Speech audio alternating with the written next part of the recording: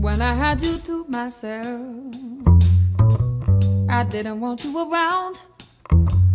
Those pretty faces always made you stand out in the crowd. But someone picked you from the bunch. One glance was all it took.